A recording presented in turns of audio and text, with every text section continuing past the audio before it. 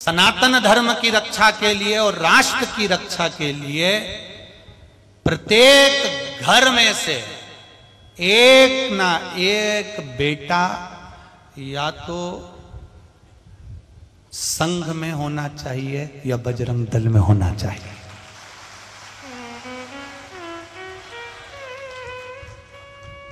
राष्ट्र की रक्षा के लिए और